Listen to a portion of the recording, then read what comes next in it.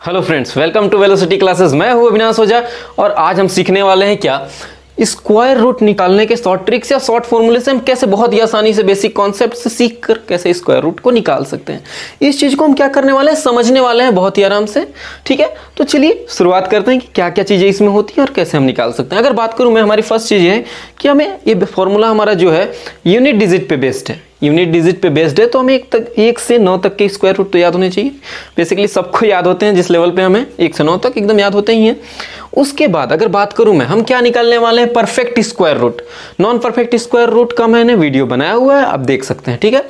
यानी कि हम निकालने वाला है, पर, हम निकालने वाले हैं परफेक्ट स्क्वायर रूट तो बात करूँ मैं, अगर किसी संख्या के या किसी स्क्वायर रूट के लास्ट में टू थ्री सेवन एट अगर आ जाए तो हमारा क्या होता है? परफेक्ट स्क्वायर रूट नहीं होता है। क्या होता है? नहीं होता है। ठीक है? तो इन चीज़ों को समझना है कि टू थ्री सेवन एट आ गया तो परफेक्ट स्क्वायर रूट नहीं होगा। वैसे तो एग्ज़ाम में अगर सिंप्लीफिकेशन का क्वेश्चन आ रहा है तो परफेक्ट स्क्वायर रूट ही देता है। ठीक है? लेकिन इन चीज़ों को याद रखना है ताकि हम अप्रोक्सीमेशन इस पर अप्लाई कर सकें जल्दी से। ठीक है? अगर नेक्स्ट चीज़ की बात करूँ, मैं क्या हमें याद रखना है? नेक्स्ट क्या है? अगर किसी स्क्वायर रूट के यूनिट डिजिट में। यूनिट डिजिट बेस्ड जैसे मैं बताया था वन आता है। तो हमारा जो आंसर आएगा आंसर का यूनिट डिजिट क्या होगा? या तो वन होगा, या तो नाइन होगा। अब इसमें से एक कैसे सेलेक्ट करना है, ये हम समझेंगे क्वेश्चन में अभी, ठीक है? कि कैसे? वन या नाइन में से कोई एक कौन सा होगा? दोनों तो नहीं होगा। बेसिक सी बात है कि दोनों नहीं होगा, एक ही होगा, कैसे होगा? क्वेश्चन में समझेंगे। वैसे ही अगर फोर आता है तो टू या एट में से कोई होगा। फाइव आता है तो फाइव का फाइव ही होता है, चाहे कितना भी रहे कुछ भी। सिक्स है तो सिक्स में four and six. Four and six होगा और नाइन है तो थ्री एंड सेवन होगा। ये हमारी बेसिक चीज़ें थी। चलिए हम क्वेश्चन से शुरुआत करते हैं, ठीक है? ताकि क्वेश्चन से चीज़ें ज़्यादा क्लियर हो जाएँगी। ठीक है? जो भी डाउट है, वो आराम से आपका क्लियर हो जाएगा। तो चलिए देखते हैं फ़र्स्ट क्वेश्चन। अगर फ़र्स्ट क्वेश्चन की बात करूँ मैं क्या? One zero two four. ठीक है? One zero two four. यानी कि अगर इसका यूनिट डिजिट क्या है? फोर है। यूनिट डिजिट क्या है? फोर है। यानी क्या हो जाएगा? या तो टू होगा, या तो एट होगा। इन्हीं दोनों में से होगा ना? या तो टू होगा, या तो एट होगा। अब अगर हमें क्या निकालना है? स्क्वायर रूट निकालना है, वर्गमूल निकालना है तो इन दोनों को छोड़ देते हैं। दो के लिए क्यूब रूट निकालना रहता है तीन छोड़ते। तो छोड़ देते हैं। अब कितना बचा? दस। अब हमारा जो दस है, वो किसके किसके स्क्वायर के बीच में आता है गाइस बात करूँ मैं किसके? थ्री के स्क्वायर के बीच में और किसके? फोर फोर के स्क्वायर के बीच में आता है। यानी कि थ्री के स्क्वायर और फोर के स्क्वायर के बीच में आता है। आता है ना? थ्री के स्क्वायर के बीच में और फोर के स्क्वायर के बीच में। तो अब हमें देखना है, इसमें से हमें क्या? छोटी छोटी संख्या को ले लेना है। यानी कि हमारा फ़र्स्ट डिजिट तो थ्री हो गया। एक क्लियर है एकदम। फाइनल है कि थ्री हो गया। बट अब इसके बाद इन दोनों में से एक डिसाइड करना है करना है ना? तो हम देखेंगे कि जो हमारा थ्री मतलब टेन है, इस पे आ जाना है हमें सीधी सी बात है सॉरी टेन पे आ जाना है, जो हमारा टेन है, वो किसके करीब है? थ्री के स्क्वायर के करीब है या फोर के स्क्वायर के करीब है? तो सीधी सी बात है, तीन तिया नौ, चार चौके सोलह, दस किसके करीब होगा? नौ के करीब होगा, यानी पहले वाले को ले लो, कितना हो जाएगा? थर्टी टू हो जाएगा. हो जाएगा ना थर्टी टू हो जाएगा. चलो नेक्स्ट एग्ज़ाम्पल देखते हैं. नेक्स्ट एग्ज़ाम्पल देख लेते हैं। चीज़ें क्लियर हो जाएँगी लास्ट एग्ज़ाम्पल आते तक यकीनन। ठीक है? अगर देखूँ मैं नेक्स्ट एग्ज़ाम्पल क्या है? सिक्स एट एट नाइन ठीक? सिक्स एट एट नाइन ठीक है? अगर इसका देखें नाइन यूनिट डिजिट क्या है? नाइन है ना यूनिट डिजिट मतलब क्या होगा? थ्री होगा? या क्या होगा? सेवन होगा? इन्हीं दोनों में से एक होगा ना? ठीक है? ले लिए भाई। थ्री और सेवन में से कोई होगा? दो डिजिट्स को टू डिजिट्स को छोड़ दिए। अब बचा सिक्सटी एट सिक्सटी एट किसके किसके बीच में आता है? या तो भाई आएगा एट के स्क्वायर के बीच में, या तो नाइन एट और नाइन के स्क्वायर के बीच में। किसके बीच में? एट के स्क्वायर और नाइन के स्क्वायर के बीच में आएगा। ठीक है ना? आएगा ना? मतलब अगर फिर से हम आ जाते हैं, इसमें से एट ले लिए। यहाँ पे एट हमारा। ये तो फिक्स हो गया भाई, छोटे वाले को ले लेना, ये हमारा क्या हो जाता है? फिक्स हो जाता है, इसको एकदम रख लेना है यहाँ पे। ठीक है ना? मज़ा आ रहा है ना? यहाँ पे क्या? एट हो जाएगा और अगर फिर इस पे आ जाते हैं सिक्सटी एट आठ का स्क्वायर के करीब होगा या नाइन के स्क्वायर के करीब होगा, बताइए मुझे कि आठ के स्क्वायर के करीब होगा मतलब एट के स्क्वायर के या नाइन के स्क्वायर के? तो आठ अठाई चौसठ, नौ नौ इक्यासी, अड़सठ है। मतलब सीधी सी बात है, एट के स्क्वायर के करीब होगा, यानी पहले वाले को लेना है, एटी थ्री हो जाएगा। आंसर यही हो जाएगा। अच्छा चलिए, इस चीज़ से आपको समझ में नहीं आ रहा है तो एक और कॉन्सेप्ट देखते हैं कि अगर मैं बोलूँ एट को लिए ना हम लोग, चलिए देखते हैं, इस चीज़ को देखते हैं। हम लोग एट तो हमारा फिक्स हो जाता है कि हम छोटे वाले को ले लेते हैं। एट हमारा फिक्स्ड हो जाता है। मगर इसके बाद देखूँ मैं एट का नेक्स्ट डिजिट क्या होता है? नाइन होता है ना? आठ नवा बहत्तर। आठ नवा क्या होता है? आठ नवा बहत्तर। और बहत्तर से देखना है कि ये क्या, छोटा होगा कि बड़ा होगा? ये छोटा है ना? छोटा है ना? मतलब हम छोटे वाले को ले लिए एटी थ्री ये चीज़ें हैं। मतलब दोनों तरह तरीके से आप देख सकते हैं, दोनों चीज़ें बहुत ही आसान हैं और बहुत ही अच्छी हैं। तो अगर नेक्स्ट एग्जांपल एक दो एग्जांपल और देख लेते हैं। ठीक है? देखते हैं।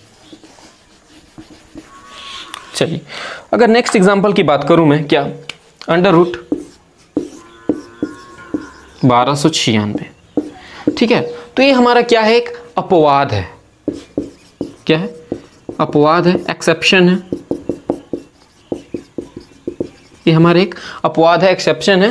मतलब इसके लिए कोई ट्रिक काम नहीं आती है। तो सीधी सी बात है, याद रखना है इसे कि हमारा किसका होता है? थर्टी सिक्स का होता है। किसके होते हैं? थर्टी सिक्स का होता है। बस थोड़ा सा याद रख लेना है क्योंकि ये अपवाद है। ठीक है? यही चीज़ है। अगर फिर एक और एग्ज़ाम्पल देखते हैं नेक्स्ट एग्ज़ाम्पल देखते हैं। नौ हज़ार दो सौ सोलह। ठीक है? नौ हज़ार दो सौ सोलह।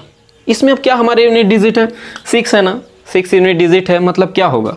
या तो फोर होगा, या तो सिक्स होगा। यही होगा ना? और तो कुछ नहीं होगा। फोर या सिक्स में से कुछ होगा। और दो इधर का छोड़ दिए। बानवे बचा। बानवे किसके किसके बीच में आता है? नाइन के स्क्वायर और टेन के स्क्वायर के बीच में आता है ना? इन्हीं दोनों के बीच में आता है। नाइन के स्क्वायर और टेन के स्क्वायर के बीच में। मतलब हमारा नाइन तो पहला हो ही गया फिक्स हो गया, क्योंकि छोटा वाला है, हमारा नाइन तो यहाँ पे फिक्स हो गया। हो गया ना? अब फोर या सिक्स में से कैसे चूज़ करना है, मैंने बताया। या तो ये हम देख लें कि ये बानवे जो है, या तो सौ के, नब्बे के, इक्यासी सॉरी इक्यासी के करीब है या सौ के करीब है? इस चीज़ को समझ लें। या नाइन का नेक्स्ट डिजिट नौ अट्ठे बहत्तर सॉरी नौ दहा में नब्बे से बानवे बड़ा है कि छोटा है? तो बड़ा है, ये तो हो जाएगा छियानवे। या देख लेते हैं हम क्या, कि जो हमारा बानवे है, वो सौ के करीब है ना? सौ के करीब है, यानी छठ, ये ले लिए सेकेंड वाला। तो दोनों में आंसर यही होने वाला है हमारा। छियानवे होने वाला है। बहुत ही आराम से चीज़ों को समझना है। ठीक है ना? हो गया ना? बहुत ही आराम से आंसर आ गया ना हमारा। तो इस तरह से हम बहुत बड़े बड़े कितने बड़े स्क्वायर रूट को बहुत ही आसानी से, बहुत ही कम समय में, बहुत ही कम समय में, चार से पाँच सेकेंड में बहुत ही आराम से निकाल सकते हैं। ठीक है? एक एग्ज़ाम्पल और देख लेते हैं। बड़े बड़े एग्ज़ाम्पल थोड़े से देख लेते हैं। क्या? ट्वेल्व बारह हज़ार तीन सौ इक्कीस। ठीक है ना? ये हो गया हमारा। अब लास्ट में क्या है? इसके यूनिट डिजिट क्या है भाई? क्या है? वन है। है ना वन मतलब क्या हो जाएगा वन और नाइन में से एक होगा। वन और नाइन में से एक होगा। लास्ट का दो छोड़ दिए। अब क्या आ रहा है? वन टू थ्री अभी हमारा 123 है। किसके किसके स्क्वायर के बीच में आता है? अगर मैं देखूँ 11 के स्क्वायर और 12 के स्क्वायर के बीच में आता है। इन्हीं दोनों के बीच में आता है ना? मतलब इसको तो ये तो हमारा फिक्स हो गया। ठीक है? कि 11 यहाँ पे होगा ही होगा, ये तो हमारा फिक्स हो गया ना कि 11 होगा। पर अभी वन और नाइन को कैसे फिक्स करें? तो सीधी सी बात है, जो 123 है, वो 121 के करीब है या 144 के करीब है। तो भाई सीधा दिख रहा है ना कि 121 के करीब है, यानी कि पहले वाला ले लो। 111 हो गया आंसर हो गया, कुछ नहीं करना है। 111 हमारा आंसर हो गया। ठीक है ना? अच्छा एक इंटरेस्टिंग सा एग्जांपल ले लेते हैं, एक छोटा सा। ठीक है? चलो। बात करते हैं। ये है हमारा ग्यारह हज़ार पच्चीस। अगर किसी भी संख्या के मतलब लास्ट में क्या आ जाए? फाइव आ जाए। तो हमें स्क्वायर या स्क्वायर करना या स्क्वायर निकालना बहुत ही आसान हो जाता है। कैसे? कैसे हो जाता है आसान? ठीक है? अगर क्या दिया है? फाइव दिया है। मतलब अगर मैं बात करूँ, हम स्क्वायर निकालते थे तो क्या? अगर किसी संख्या है मान लो एटी फाइव है। फाइव है ना तो क्या करते थे? एट का नेक्स्ट डिजिट अगर एट दिया है तो एट का नेक्स्ट डिजिट और फाइव का स्क्वायर यानी कि बहत्तर, पच्चीस। ये हमारा क्या हो जाता था? आंसर हो जाता था। यही हमारा आंसर हो जाता था ना। तो यहाँ पर भी वही चीज़ है। अगर 110 दिया है 110 दिया है मतलब यहाँ पे क्या होगा? अगर 110 दिया है मतलब यहाँ पे क्या होगा भाई? 10 इंटू ग्यारह ही तो होगा और फाइव का स्क्वायर ही तो होगा, यही तो होगा, तभी तो हुआ है। यानी कि यहाँ पे 10 और पाँच, यही तो हो जाएगा, और कुछ तो नहीं होगा ना। यानी बहुत ही आराम से इस चीज़ को निकाल सकते हैं। चलो एक एक एग्ज़ाम्पल और देख लेते हैं इससे रिलेटेड जैसे कि मान लो, यहीं पे देख लेते हैं। क्या? ये है। मान लो, ठीक है? सॉरी दूसरा देख लेते हैं सेम हो गया। तो मान लो, देख लेते हैं। ठीक है? ये एग्ज़ाम्पल देख लेते हैं। तो अगर बात करूँ मैं छप्पन दिया है मतलब यही तो होगा छप्पन, सात इंटू आठ। क्योंकि नेक्स्ट डिजिट में देखना और फाइव का स्क्वायर यानी कि किसका हो जाएगा? सेवेंटी फाइव का स्क्वायर हो जाएगा।